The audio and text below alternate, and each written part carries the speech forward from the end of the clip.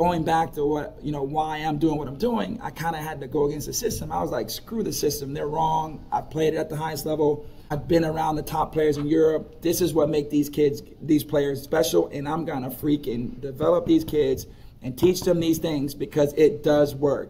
And over time, I started to get a lot of people supporting me in what I was doing. But man, I had to go against you know, the, the, system in America. They say, don't go train with Eddie. Don't that stuff doesn't work. It looked like a bunch of kids that are dribbling in a circus. Hi guys, Saul here back again, and uh, got a sensational episode for you this week. Uh, it's Eddie Johnson. Eddie's a coach out in America, and uh, yeah, Glenn and I came out of this show really thinking, wow, this guy is on it. He's really is on it. A top guy, top coach. Uh, he's really got his head screwed on and uh, this is part of the next gen coaches series. It might be unfair to call him a next gen coach. He's already well established coach in America, one of probably the top young coaches coming out there, doing some really interesting things there in a moment. Uh, you can check him out on his Instagram page, which we talk about. But so Eddie really focuses on ball mastery, one v one. He's had to fight a lot of the conventional coaching wisdom out in America at the moment. Uh, but yeah, like I say, a real inspirational uh, uh, episode, this one, uh, talking about his journey and what he's trying to do. And uh, yeah, he's he's a real interesting guy. Uh, real good coaching philosophy, and I know this one you're going to really, really enjoy. And don't forget, there's still 20% off the coaching courses at My Personal Football Coach. If you want to learn more about ball mastery 1v1, the level one and two, um, they're, they're on the My Personal Football Coach website. Get 20% off now with the code MPFC Coach.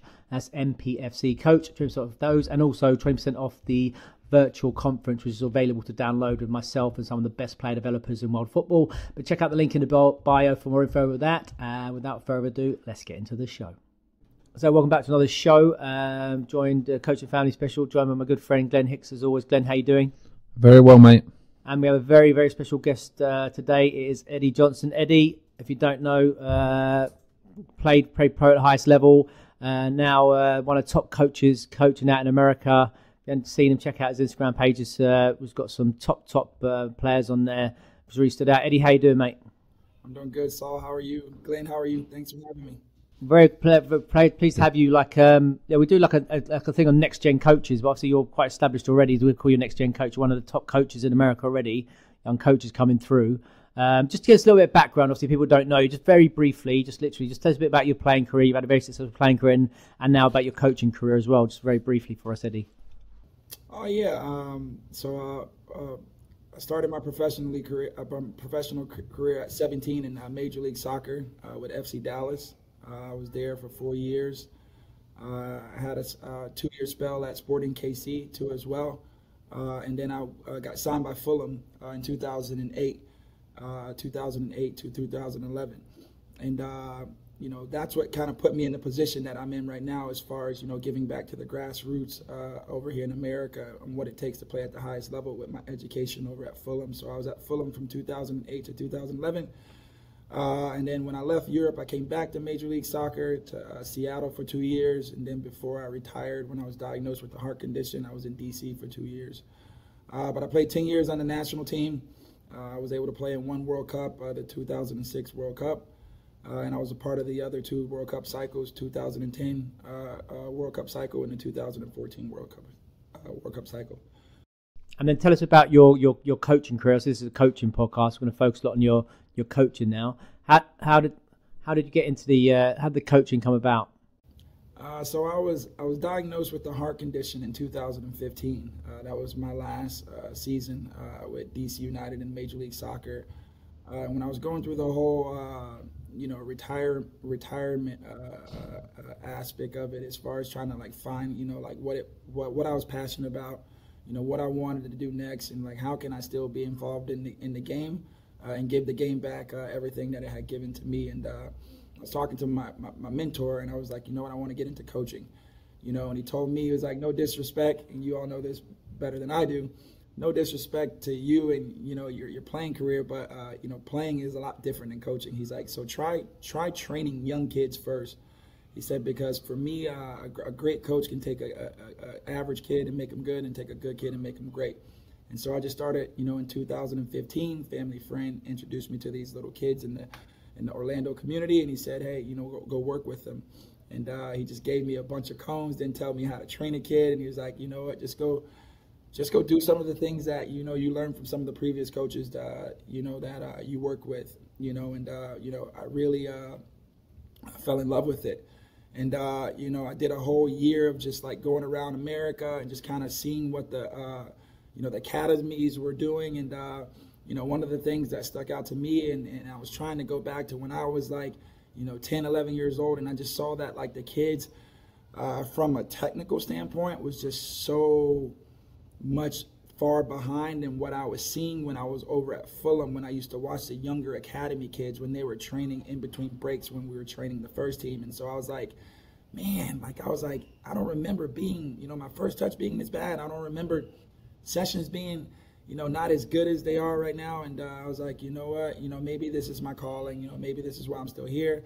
You know, how can I give back all of my knowledge, you know, to the to the younger generation? Because if we want to get, if we want soccer to improve in America, it's going to take more, uh, you know, players that have played at the highest level, you know, working with the younger generation, and that's something that you all do a very good job over in Europe. Yeah, so I mean, because obviously now the modern day, modern day world, obviously Instagram's a big thing, and that's obviously where I first came across your work. And what obviously stands out, talk about this a lot, is that you know there's a lot of people who have big followings, but obviously you know Instagram's now almost like a walk-in portfolio or CV, if you like, or tells a lot about your coaching methodology. Even though we don't necessarily see you so much on that, but we see the players you work with, and it's quite extraordinary actually the the the, the, the outcomes or the, the ability of these players on your on your page in terms of their quick feet and explosiveness with the ball and things like that. So really, obviously, chimes with uh, mine and Glenn's methodology. Obviously, tell us a bit about that. Then tell us about your coaching methodology itself. How did you, you know, it's one thing to want to improve players. It's another thing to have an idea of how to do it. You know, like you say, coaching is different to playing. How did you come up about this? Because obviously, you know, there's a you obviously know what you're doing because you, you, can see like you know all these players coming out and being so quality on the ball. Tell us a bit about that journey you went on yourself. Um, one of the things that you know, just being a former player myself, or just you know, I, I go back and just you know, coming through the federation in, in, in, America. You know, I played at the U17 level, played at the U20. Uh, I played with the U20, uh, the, the, U23s, the Olympic uh, team, and I played on the senior team. And, and one of the things uh, you know, just from playing at the international level and playing in Europe, I saw uh, that we lacked over here in this country is creativity, or they don't give us the freedom, or they don't allow us to be expressive at a young age. You know, whereas, you know, you look at you know the English, you look at the Italians, you look at the the French, you look at the Germans, the South Americans. You know, every year, every generation, they always develop a player that's special. You know, and, and in America, you know, that's something. and You know, I, I'm, I'm you know I'm not afraid to say it. It's something that we lack, and the reason why we lack it, it goes down to, you know, at the grassroots level, everything's based about winning and not developing. Uh, so when I came back and and and I said, you know what, I want to you know get involved in your younger generation and what needs to be changed just from seeing what I was seeing. I was like, the one thing I see right now is coaches are already teaching kids at U U seven U eight how to be systematic, you know, and, and they're limit, you know, li- putting limitations on on as to what they can and can't do. Uh, and and and for me, that the only way to develop, you know, confident players is is teaching them how to master the ball. And that's just my overall experience of playing at the highest level and seeing what, you know, why, you know, like I said, the top players in the world or the top, you know, players that play for the biggest clubs in the world, what made them special. And it's their, and it's their ability on the ball, you know, and so what made me came up with my uh, my philosophy was is that you know what? We have a saying that is called uh, you know you know soccer has no age. You know if you're good enough you're, you're old enough. And, and, and, and I got that from like playing I'll never forget playing uh, with Cardiff City against uh, Arsenal. And I remember it was in a Carling Cup game and Arsenal had like all their academy players on the field. And you know Cardiff City I was there Dave Jones was the manager and uh, you know, it was our our first team, and it was a bunch of senior players, and we are playing all these academy players, and they was just like popping the ball around us, and we couldn't get the ball. We were chasing, and they were so skilled how they hide the ball. And uh, the only way I knew to be able to develop those caliber players is more time on the ball. You know, so I figured that if I can get these kids at a younger age, uh, give them more time on the ball, you know, teach them how to master the ball, teach them all of these, you know, ball um, uh, manipulations on you know, how to escape pressure, how to unbalance players. Uh, then we can develop more uh, confident players on the ball. And we all know with the more confidence on the ball, the better decision, the, the more composure you're going to have on the ball uh, to, to, to, problem solve, you know. And uh, you know, that's what kind of made me get back into the, you know, uh, the, the, grassroots uh, with the kids and, you know, mold mm. them young. And the only way I knew I was going to be able to do that is by homeschooling the kids. And that's what we have here is a homeschool because soccer in this country, you can only train for an hour and a half a day. And so what happens is these kids are going to school from like 9 a.m. to 3 p.m. and then they're rushing to, to get to the training field and they only got like an hour and a half to train and they're only training three days a week and the first 30 minutes of a training session is like a warm up. It's everything without the ball. There's no technical work, and then they're going into, you know, uh, you know, uh, tactical functional stuff without even you know progressing in, in, into the tactical functional stuff or teaching them how to. Uh, uh the, the skill sets that they're going to need to be able to problem solve. And so when I saw that, I was like, man, if we can change our philosophy uh, between six and 10 or six and 12, where winning is important and then just focus on development, we'll start to develop, uh, you know, better players in this country. And so I started with a little group, and then with that little group, those kids were kind of like my uh, testament to what I was doing. Uh, and uh, you know, here I am today. You know, with you know, uh, uh, you know, a, a, big movement in America where where now I see in the last ten years since I've been doing this, a lot of former players now are retiring now in America, and they're opening up in academies, and they're kind of following, you know, you know, my my, my program. Interesting. I mean, just uh, getting in a second, Glenn. Just, tell us about the, your homeschool then, Eddie. Then I mean, you mentioned it there. Tell us about that. How does that work? How many players you got in it? You talked about the ideas to get more contact with the ball, right? Right. So, so, uh, so the whole school, homeschool program, uh, it's uh, it's called Student Achievement Program, and uh, it's uh, you know I was mentoring one of the kids, working with one of the you know local boys, and his mom has a doctor doctorate's degree, and so what I was telling her is, you know, I, I got a couple of homeschool kids right now. Uh, you know, they're, they're, they're, it's called Florida Virtual, but you know, they're they're they're they're homeschooling at home because their parents are stay-at-home moms. But if we can really get like a school, uh, because a buddy of mine, he has a program in Dallas, you know, uh, called Alpha Forms. I said if we can get a real school right and get real teachers in here and if we can you know you know make sure we focus on education because education is important too as well and and, and teach them the most important subjects which is like math language arts uh, in a foreign language. I was like if we can you know get some qualified teachers in here and convince the parents to homeschool their kids they're going to start seeing more results because we can really focus on development and and, and not winning at a young age. And so you know she has a doctorate degree. She worked at a, uh, a university and uh, the facility uh, that we have here in Orlando. Uh, she was able to work something out with the, the owners here, and uh, you know we have uh, we have 60 kids here. We have 60 wow. kids here, and they, they all range from you know eight to eight, eight, to eighth grade, eight years old to eighth grade, and um, you know, yeah, they go to school from 8:30 to 11:30, uh, and then you know from 11:30 to 12:30 they eat lunch, and from uh, one o'clock to you know five o'clock they train, and then the the training and is consist on you know on all elements of the game. You know, you know, you know uh, positional specific, technical work. You know, uh, you know, sc- scanning and receiving, movement off the ball, finishing to goal. A lot of one v ones. You know, a lot of you know, two v ones, three v twos, uh, one v two attacking, you know, one player, you know, you know, attacking two defenders. So you know, a lot of situational work, but but the main focus is, you know, the, the foundational work. You know, you know, you know, making them confident on the ball. Uh, you know, teaching them the importance of their first touch and their body orientation and scanning the field. Uh, you know, you know, you know, instilling in them all of the attributes, which is going to make you know them on the field their decision making a lot easier uh, as far as when they're you know, in, in, a real game situation, you know, their their trajectory and how their brain cognitively thinks is going to be a lot, you know, more better than the kids here uh, in America that are only training uh, uh, three days a week. Yeah, very interesting. Glenn, you want to come in here? Yeah, that was fascinating to listen to. As you know, so um, with our, my personal football coaching, uh, coaching stuff with the mentoring, I've mentored a few young people in America, and I've had to learn a lot myself as well, Eddie. Um, first of all, congrats on a fantastic career, by the way. But it's really insightful there for myself. I've never been to America to actually coach. I, I, I was I've done a couple of little projects, but not, not extensively. But what I would say, some of the key words that you've said that I'm going to pounce on is creativity. And you said about the constraints of going too structured too early. You know, we still see that here in academy football, to be honest with you.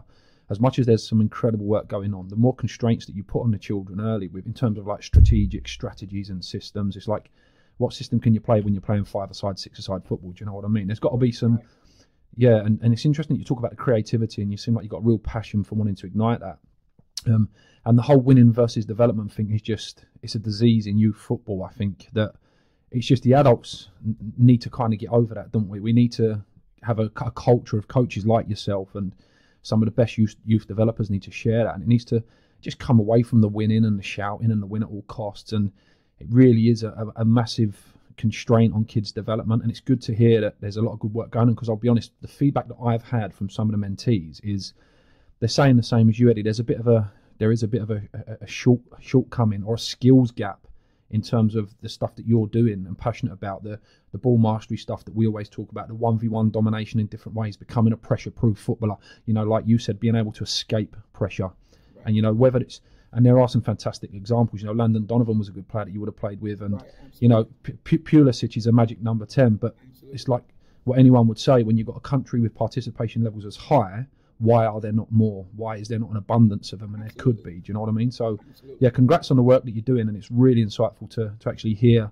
what it's like at grassroots level and how difficult it is to the challenges you face in terms of like developing developing that culture. So, yeah.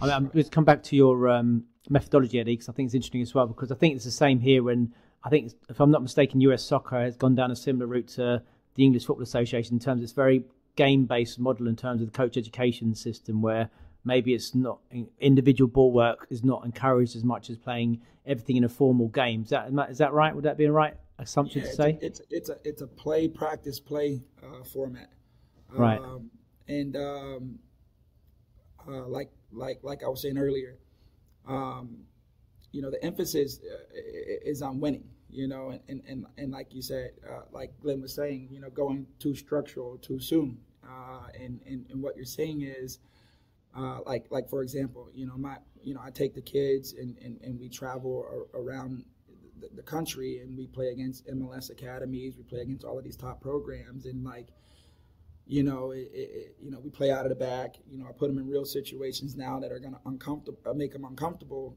now to make them comfortable later, and you know sometimes those uncomfortable situations can result to you know us getting scored on. You know which for me it doesn't matter right now. You know because in in order to make them comfortable in those situations, you gotta allow them to try. You know, you can't spend four hours on the training pitch working on these things and then say, you know, when you're being pressed in front of your goal, hey, just clear it. You know, so um, like I said, you know, so my philosophy was was development over winning, uh, and and if I can, you know, uh, if I can develop all of these skill sets and these these attributes into these kids, what's going to help them be able to problem solve, you know, uh, you know, better than the average kid later on, I'm gonna I'm gonna I'm gonna be more prone at putting my kids in a position to succeed in any type of system that they go into later because I'm not making them systematic too soon. Where it goes back to what Glenn was saying, you know, they're making you know you know the, the game at a young age too structural and limiting the kids onto what they can and can't do. So I'm more about creativity, freedom, take risks, uh, and that's why you see a lot of the, the, the things that we focus on is ball mastery uh, and, and, and, you know doing you know those those reps after reps, so it becomes you know uh, second nature when they're on the field. They can do it without thinking, you know. And you know when I started doing it, I started getting a lot of backlash, you know, because I was going against the system like anybody else that goes against what the system says not to do. Uh, you know, but I'm looking at in America a lot of these teams that are winning because they got the bigger, faster, stronger players. But you know, you take away. Uh, we have a saying: you you you know what's a Ferrari without gas? You know, it's nothing. You know, it it, it, it, it, it looks fast, but you know if we're if we're if we're moving the ball about and we're circulating the ball and they're pressing with their fast, big, strong kid, before you know it, we're gonna end up you know tiring that that striker out, and then now start pulling players out of position, and then spaces open up for players to get in pockets, and now we can break down their their, their lines of press, and so we focus on you know putting the kids in real situations, no matter the outcome. And uh, I knew the only way I was going to be able to you know, preach what, what I was doing, you know, because in the beginning, I'm not going to be honest, Saul, it was all more trial and tribulation. You know, I found these young, motivated kids that love soccer, and I say, you know what, I'm just going to do a bunch of foundational work. I'm to make them as technical as I can. You know, I'm to make sure their left foot is like their, their, their, their dominant foot is like their non dominant foot and I'm going to teach them all the attributes on how to, you know, you know, you know, ball mastery. They they mistake it for just the ball being on the ground, but ball mastery is being able to get the ball out of the air air too as well. Your aerial control and how you get it off the chest and how you take it off the thigh and how you bring it down off your. And I said, if I can if I can develop all of these attributes now, whenever, uh, uh, and then teach them when and where and how to use these things, whenever they go into any type of system, they're going to be more prone at being outshining whatever their competition is because the other kids aren't being taught these things. And what happens is when people go too structural too soon, then now you're confusing the kid because a kid can play in a system, and we all know this, say, an Arsenal uh, Academy you can put a kid in a system like that, possession oriented, one and two touch, pass and move, inter exchange. But then now they go play for a coach where the coach be like, you know what, we want you to have more freedom. We want you to take players on and stuff. But if a kid's been in a system where they can only do one and two touch at a young age and you made them too systematic, then now it it, it, it, it restricts their creativity because they've never been in a position to put them in those situations to be creative. You know, and so um, that's what I see a lot here in America, and I feel like it's not doing the kids any. Uh, it's not doing any of the kids a service because then now you're making them go too structural too soon, or, or just the long ball. They play a lot of long ball here at the young age because everything's so based on winning. You know, coaches, like I said, the coach's ego are more important than developing the individuals. Whereas I'm doing the complete opposite. I played the game at a high highest level going to Europe was one of the biggest educations for me ever as far as learning the game and understanding the game and looking what the caliber players should look like and what the coaching should look like. All I did was just brought back all of those experiences and, and you know everything I learned from the great managers that I that I, that I worked with, uh, and I'm just instilling into these young kids, you know. And like you know, every kid learns different, and you know every kid, you know. But I knew in order for me to to to bring to light what it is that I was doing, it was going to take a lot of time and patience, you know. And we all know as former players, you know, if you have a belief in something and you put your head down and you work towards it, you know, in due time you're going to make whatever it is that you're working towards come to light, and that's kind of what it was. But I knew I had to have some committed parents that believed in what I was doing to back me in order to put myself in the position that I'm in. Tell us about then. Again, go back to your your coaching philosophy methodology. Tell us what what's a typical session look like for the players then when they come. All right, so yeah, so they come and uh, you know uh, the the first the first uh, you know again I don't really time the how long they're doing it. I more go as like you know rhythm. You know, so like we'll we'll the kids will come and then they all get a ball. We'll just start doing keep ups. We'll do some keep ups uh, just you know working on some aerial control uh, and stuff. And then you know the keep ups we can progress the keep ups to like different parts of you know the foot that you're using to keep the ball up. Uh, and then you know uh, you know different parts of the foot to keep the ball up and then maybe kick it high get it down and then now go into the ground where they're doing aerial and then getting it down and then now doing some skills and being creative not telling them what skills to use uh, a lot of the stuff I don't post, I keep it to myself. I only post some of the stuff just to kind of give you a taste. But a lot of the stuff we do, I just keep it to myself. I don't show everyone. But the, the but the keep ups can progress from you know aerial control to getting it down to doing different variety of skills, and we'll do that for about you know 30 30 minutes, and then we'll go into like some rondos. We'll put them in like you know uh, s- small groups of three v one rondos, you know uh, four v one rondos. Uh, never really go into any bigger rondos because I, I, want them more moving, and I feel like the bigger the rondos you get, the less moving they are in, in the warm up. You know, and like what I try and do is by doing the rondos is uh, you know activating the, the brain uh, because the rondos consist of decision making. So we all know that's the most important muscle in the body. Uh, so then we'll do that uh, for about a, another 30 minutes and then uh, you know then i'll have them you know we'll, we'll break up and then i'll set up these different types of stations and all these different stations will be all of these type of dribbling techniques and you know you know working on different you know skills and different you know ball manipulations or how to protect the ball uh, you know different change of directions and stuff and so we'll do that for a bit and then we'll start we'll go from there and then we'll go to all of these different variety of passing uh, patterns uh, and so if the focus is on okay, we're gonna work on two v ones today. You know, so I'll divine, you know, I'll, I'll design some passing patterns where we're working on, you know, you know, you know, you know, the two breaking down to one, or if it's, you know, the three breaking down two. Uh, so some more like, uh, you know, decision making where it consists of individual ability, and then now, you know, thinking for each other and you know using your supporting players that are around you. Uh, and then you know uh, going into like mini games you know going into mini games and then uh, you know seeing you know you know you know from an individual standpoint you know, you know how how they, how how expressive they are on the ball, you know, and uh, you know, you know, um, you know, and and, and, and how their trajectory is working and how they use you know their use of their players that are around them. You know, I never go into anything bigger than uh, like six v six. We keep it uh, you know small sided uh, in, in, in tight spaces because for me. Uh, the, the, the small sided games, the, the less time they have on the ball, the, the, the quicker their trajectory is thinking. Uh, the bigger the space, the more time, you know, they're not thinking fast enough. And so for me, it's all about uh, you know, tempo. It's all about quick decision making, and so the smaller formats is something that we focus on a lot, and we try and put them in the situations, you know, where they don't have you know a lot of space, so we can see them implementing their ball mastery and and their skill sets and their ability to still be able to break down a block of you know two, a block of three, or a block of four in, in that small uh, uh, setting. You know, so it's a lot of you know repetitions I'm working on uh, uh, individual attributes and uh, you know putting them in real situations situations uh, in, in, a, in, in, small formats and, and uh, you know encouraging them to work on the things that it is that we were working on prior you know warming up you know in, in, in, the beginning of the session. I, some of the stuff I see on some of the players where it's some, some really interesting and exciting ball work you're doing with like the, the change of speed, the tempo, going slow to go quick, exploding out, you know, change of speed and stuff like that. Where'd you get the ideas for that? Where's, where'd you get the inspiration for those those uh, those practices? I just think for play from from from the players that I, I played against when I was in Europe or played at the international level. You know, I look at the best players in the world, and I say, you know, what what makes what makes a Ronaldo different? You know, what makes a, a, a, a, a Saka uh, what makes uh, a, a Pulisic, what makes uh, uh, De Bruyne. You know, you look at all the best players in the world and the positions that they play, and you study those players, or even my own experience of being on the field in my day with some of the top players, and you say, what makes a good nine? What makes a good seven? What makes a good six? What makes a good eight? Et cetera, et cetera.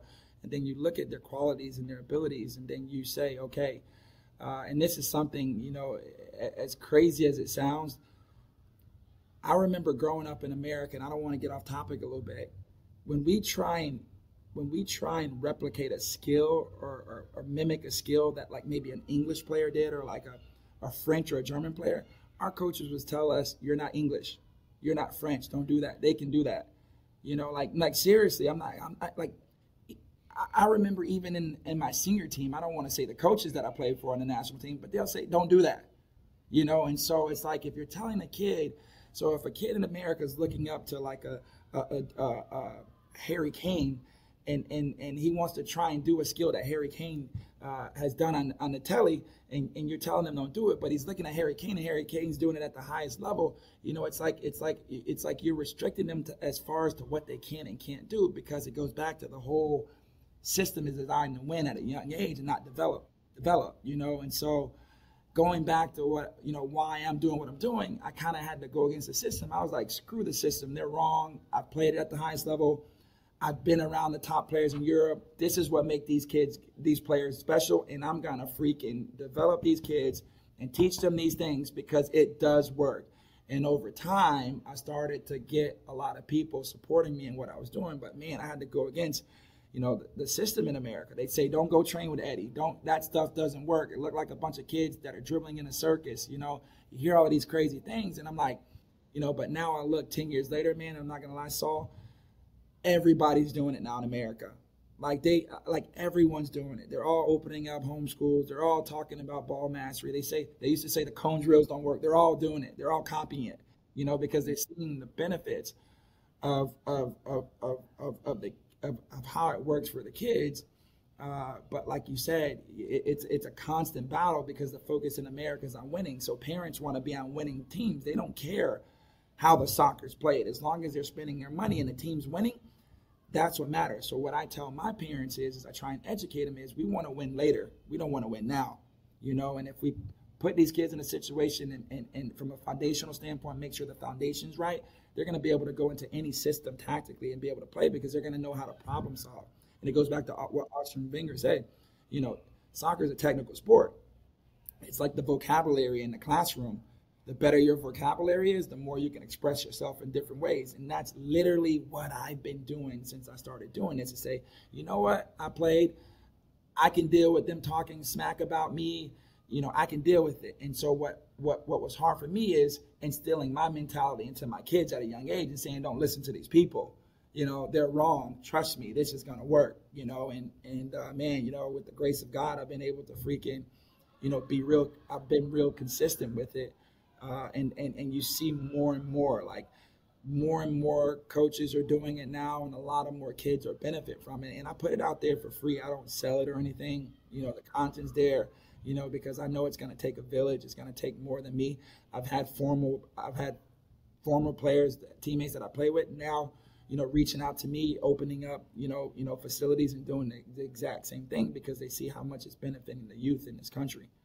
Yeah But fantastic. to overall answer your question saul i, Yeah. I got my philosophy fee from from seeing like why does england develop great players all the time? Why does france why does germany why does brazil why?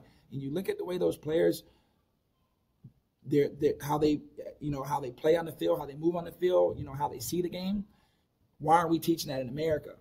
You know no no disrespect to to me no disrespect to landon donovan no disrespect to clint dempsey no no no disrespect but we're telling our kids to be like us that's not enough I, I, and i'm gonna be honest like you know why aren't we teaching our kids how to be like the Ballon d'Or winner, winners? Why are we selling ourselves short? Why isn't that not capable? It is capable if you do right by the kids. If you take the emphasis off winning at a young age in development, right? You'll you'll you'll make your money on the back end. You may not get it right now, but it but it's trial and error. You got to take risks, just like they took a risk in bringing Eddie Johnson over to Fulham at 22. They spent six million uh, dollars for me to come over, three million pounds. It didn't work, but they took the risk. They saw something in me. It didn't work for whatever reason. It didn't work, you know. But you got to take the risk. And what we're doing is we're not risking. We're not investing enough in, in the younger generation right now. And if we are investing, the academies, the MLS here, they're taking kids at like they're taking kids at 10 years old and they're making a 23 man roster. And what they're doing is they're isolating these kids and they're stopping these kids to have access on what they can and can't do at a young age. You know, like we do a lot of futsal too, Saul and Glenn. We do a lot of futsal. You know, the more touches on the ball, the you know, the, the, the more this stuff makes sense, the more situations you put these kids in, the more creativity you give them, the more freedom. You know, these kids start to see things inside them they never knew exist. They see that these skills work because you actually let them try. You know, but we put fear in our kids at a young age and we stop them from doing things at a young age. And so, you know, when you see I think Glenn said, you know, you see a Landon Donovan and then you see a Pulisic and then you're saying why, you know, in, in the generation of soccer, why it's only like two players or Dempsey or like three players in the generation of soccer has been special. It's because of you know it's because of the culture in soccer here. It's it's it's a winning it's a winning over development uh, culture, you know. And if and if and if you're not winning, you know, no one wants to be in those programs, you know. And so these academies are taking these kids over here right now. It drives me freaking crazy at like at, at nine, ten years old, and they're telling them they can't do anything outside of the academy. But then they're playing games, Glenn, uh, Saul and Glenn, on the weekend where they're beating clubs 15-0, 16-0. Like, what are those kids getting out of that? They're taking the best kids, and then now the club system is so diluted. Now the competition's not good because they're taking all the best players and they're putting them there. And then, like, who are they going to play? It's not like over in Europe, like they're playing, like, like, like I tell them, soccer will never get to where it needs to be because Arsenal, Chelsea, Man U, like all of those top academies, those kids are playing each other every like week in and week out. We don't get those competition of games. The academies are taking all the good players here. And like in Florida, you only have, and we talk about the distance, right? It's, it's such a big country. Florida has two MLS pro academies, Inter Miami and Orlando City. So the only time they get a good game is when they play each other. Other than that, they're fucking killing every team. Sorry for my language. They're killing every team 16 0. And, and, then these kids are posting stuff and parents like, we want to what are you learning out of that? Yeah. You're not getting nothing out of that. You know? So I must say, I am I'm riveted. Honestly, I know it so much, but I've really enjoyed listening. Your passion, Eddie, is it's Oh, man, I- admirable, mate. Honestly, we can hear it coming out, the fuel and the fire, and and we can almost hear your frustrations you've been through because myself and Saul, it's not always been a straightforward journey here in England either. You know, it's only probably the last 15, 20 years that academies have actually really started coaching in a progressive way, and we've seen the Fodens and all this of this, and we are really getting a generation of serious talents come through. But we can, I can hear your frustrations. I can hear your commitment and your passion, and it sounds like you've hopefully got to a tipping point after doing it for nine to ten years, Right, and you're seeing the fruit. You're seeing the fruits of your labour with young children coming through. But there's some really key points you've made there. And th- in terms of the landscape of American soccer compared to English Association football, is I think I think the whole parents paying puts a bit more extra pressure on the leaders of the group, whoever runs these franchises or, or, or football clubs and stuff, because they're paying customers, which is unfortunate for young children. And I say that in a sense of like, it puts this false pressure like you must produce. So if the parents are uneducated and they're looking just at the win and the loss and they just keep going home, and that's a big thing in American sport. They got the W, they got the L, and it just puts a bit of pressure because there's finances involved, and I think it's it takes it away from the development. That's one aspect, but the competition thing you said there is incredibly important. So myself and Saul, you know, you know, Saul's worked at Arsenal, Chelsea, Spurs. I've worked at Spurs the last 15 years, and these young kids you're seeing come through now. So the young Ethan Nwaneri, youngest player ever for Arsenal, scored the other day. But people that are in the academy system have seen this young man doing this since he was six, seven, eight years old. And you know, someone the same age as him, Mikey Moore, is the youngest player ever at Tottenham Hotspur. So you got in the same year the youngest players at the North London clubs in the history, in 150 year histories of the football clubs. It's quite remarkable. But what that does tell you is, like what you said there, 15 0 is no good for anyone. These kids have been pushing each other. as So, yes, they've had the commitment. Yes, they've had exceptional coaching. There are fantastic coaches at the clubs in England right now. And, you know, some of the academies get a bashing over the head for the lack of success. No, but there's incredible success going on. But the biggest thing they have had is that competitive element. These boys are pushing each other. These the level of competition is fierce throughout English academies, European academies, and it's something that clearly American soccer's got to be careful of in in terms of children to get to the next level will then have to leave America, and it will be a desperation to get to Europe. Like yourself, you was incredibly fortunate, and I know you say it isn't a success, but getting yourself to the Premier League, Eddie, is an incredible yeah, achievement. And sure do you know what I mean? But but that's that will become the only route, and that's a danger for, for, for American soccer as well. Like, can you get to Europe, or can you get to the, the maybe the South American leagues, or, or I don't know where, wherever it is, somewhere where the talent can flourish because of both the coaching and the competitive levels. But you make so many really valid points, and it's really insightful to, to, to hear what's going what's going on there. Eddie, I'm just going to ask you about. I mean, are you doing you're doing your your coaching licenses in America? You doing doing your like A license and stuff? Right. So so like so I, I, haven't done the I haven't done the license yet. I'm in the process of setting that all up right now. Yeah. Have you how how have people obviously you're a very well known person, you're a big brand now, you're what you're doing, your your your reputation procedure, I'm interested when you go to these things, how do people how do you let the the educators the coach educators respond to you or they do they challenge you? They say, you know, because obviously, you know, maybe your philosophy is slightly different to what they're promoting, if that makes sense. Yeah, yeah. So yeah, yeah. So I, I, I, I used to in the beginning. Yeah, in the beginning when I first started, you know, I was just training kids. You know, I wasn't really like, you know, trying to make it as big as it it, it, has uh, became. You know, and and you know that's you know it's like any anybody. You know, I was putting my head down. You know, and I was more like I'm I'm not I, am going to prove them wrong. That you know, this is how kids should be training. So it just in the beginning it was just more just training kids. I, I, I didn't want to make it this big, man. It was just more like I'm still trying to find my way, trying to see what you know path I wanted to go down. But I knew I wanted to still be involved in the in in the game, you know. And then I, it, it's like anything when you when you start training kids, you start you start growing a love for it, and you start you know after training kids, you start wanting coaching teams and stuff, you know. So you know, I've been so busy with just trying to build this and kind of just like focus on myself uh, because I was in a space where, you know what, I don't want to have to listen to anybody. I played professionally for 15 years. I'm just going to do my own thing. I'm going to take all my, you know, my real experiences, good and bad, uh, take some of my, my, my coaching uh, methods from all the uh, coaches that I played for and kind of just put it all together and make it my own thing, you know? And, and that's what I was kind of just doing, you know, but you know, I am hungry now to want to coach, you know, so like now, you know, coaching license and stuff is something I'm starting to uh, consider, uh, but I haven't taken my coaching license. All of this stuff has just been really just like, you know. Well, I mean, it, when you when you run, you got a successful business. It's uh, it's a pretty hectic, uh, oh, pretty hectic me, endeavor, yeah, right? Yeah. Yeah, trust me, I know, I know. You know, but, but you can hear it's. I never wanted to get this big though, but it, yeah. but it happened, you know. Yeah. So I'm at that problem right now, but but but one of the reasons why I'm doing this, honestly, honestly, is not just because I, I want to see soccer grow in this country and I know the kids are so much more deserving.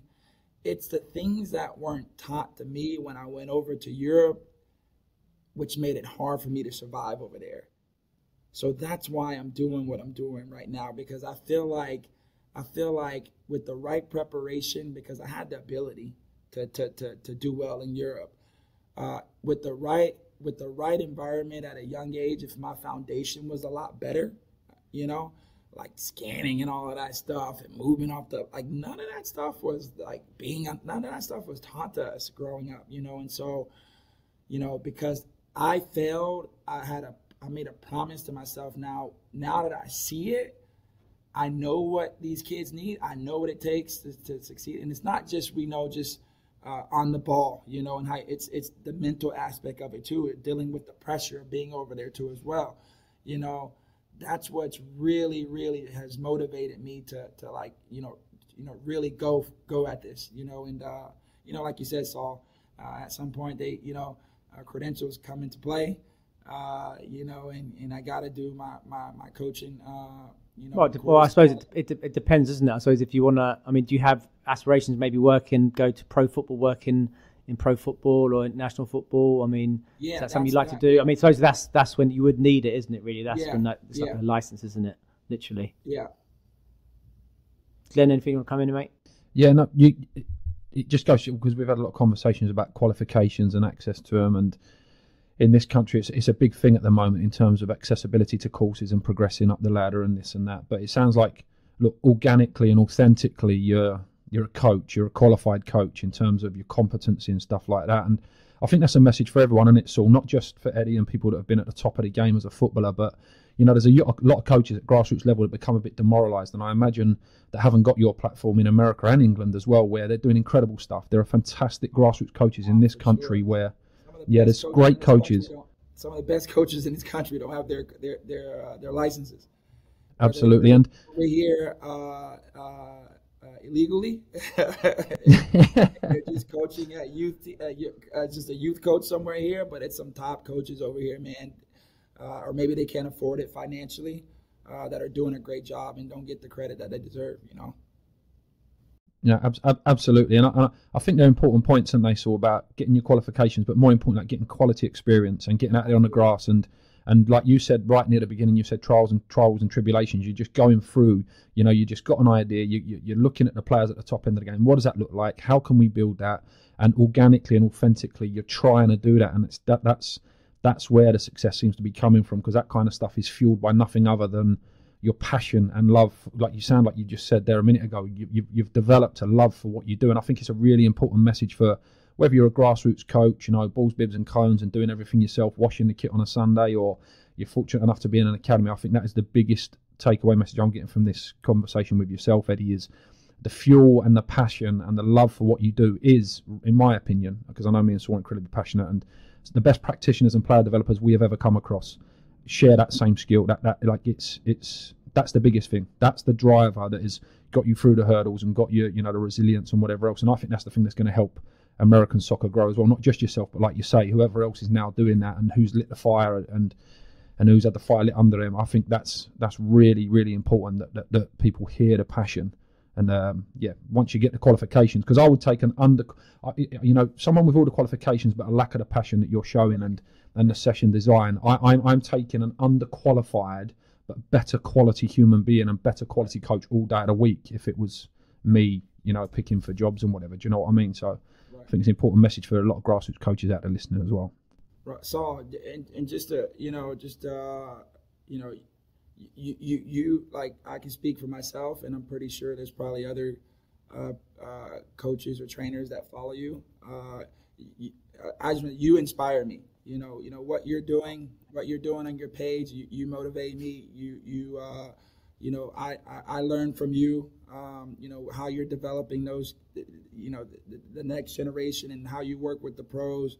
Uh, you do a fantastic job, and uh, you know, um, you know, it's people like you uh, that that make me a better version of myself too as well. You know, right when I think I'm doing a good job over here, I can I can look at your videos, I can look at what you're doing, and be like, man, he's just he's he's so good. But you know, you know that's you know you inspire me to to to to to, to get to that level one day. Uh, I got a lot of work to do, uh, but it's it's people like you that are out there uh, motivating people like me to be the the, the, the, the, version of uh, the best version of myself, you know, for the for the younger generation here in America too. So keep up the great work. Uh, oh, you thank know, you. England, That's uh, England, yeah, I appreciate England that. In the world are, are are lucky to have someone like you that is, you know, so devoted, you know, to putting all your time and knowledge and expertise out there. Uh, that give you know trainers like myself and mentors like myself, you know, uh, uh, a platform where we can you know have somebody that we look up to to inspire us to motivate us to be a better version of ourselves. Wow, that's uh, thank you. I really appreciate those those kind words. And, that's, and honestly, you, you inspire me too, mate. I look at the work you do, the players, and I take a lot of inspiration from what you do. So I think it's good. It's like um, like a community now, isn't it? Like you know, of uh, people like yourself and Glenn and all these other guys out there who who are doing this sort of individual work and very much spontaneously as well. Maybe not you know take inspiration from federation courses, but we seem to be coming up with these these ideas right. ourselves. And like I say, I take a lot of uh, inspiration for you, though. I appreciate that for those kind words, mate. Uh, what, what's what's what's, what's next for you then? What's your aspirations for the for the short term and the long term? So short short term for me right now, uh, I, I am really considering uh, uh, getting my license. Uh, I have a former teammate, Oguchi Onyewu. He's part of the federation right now uh, with U, U, U.S. Soccer.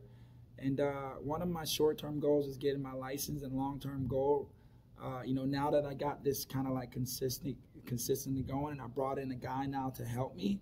Uh, I, I want to try and get a youth a youth national team, uh, get a youth national team, get get involved in the federation. Uh, you know, and I know what it I know what it means to wear the badge. I, I, I, I, know what direction the country is trying to go in.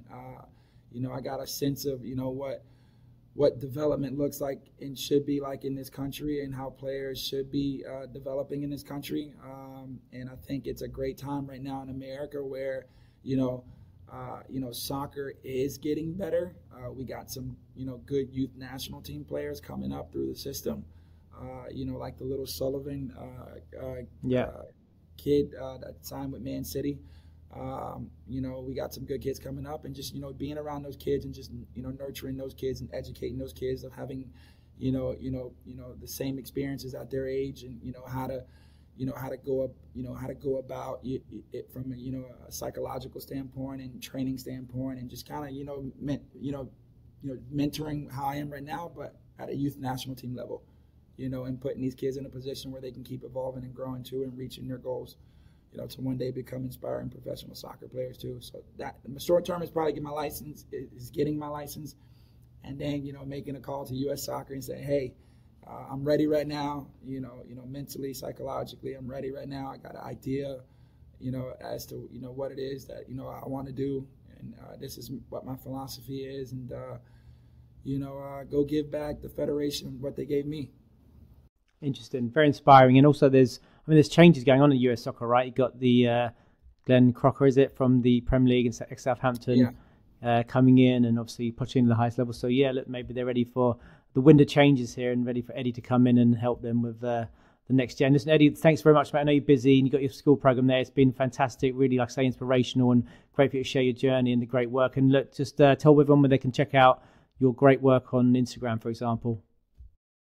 No, Saul, Glenn, thanks, man. It's been amazing. Uh, yeah, just Eddie Johnson here. If you wanna, you know, if you want some free content, you know, just follow me on my Instagram, uh, Eddie uh, E double D I E underscore Johnson seven. Uh, feel free to reach out to me via DM. I always check my DM too as well. I like to engage uh, with the with with the world. Amazing, Eddie. Thanks very much, mate. Glenn, cheers, pal. Cheers, See mate. you soon. Thank you, mate.